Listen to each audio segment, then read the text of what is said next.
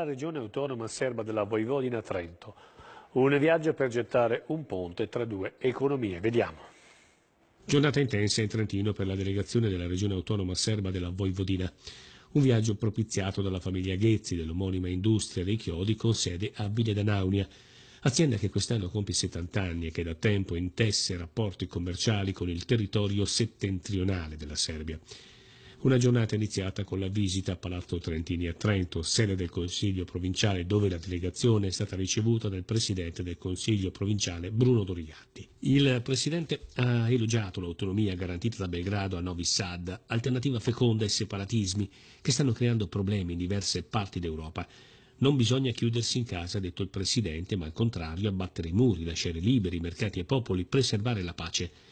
La delegazione era guidata da Onien Bielic, assessore per lo sviluppo regionale.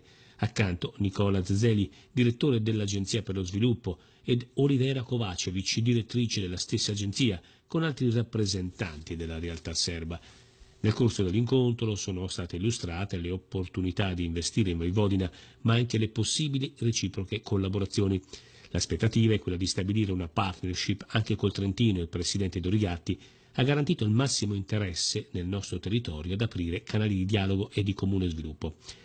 La visita è proseguita presso il vicepresidente della provincia, e assessore provinciale allo sviluppo economico Alessandro Livi, con l'obiettivo di rendere concreti scambi di natura imprenditoriale.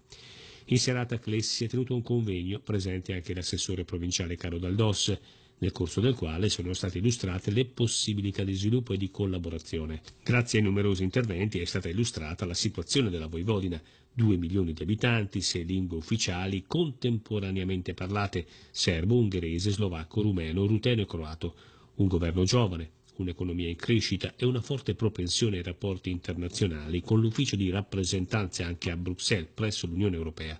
Sette le zone franche per il libero scambio commerciale senza dazi.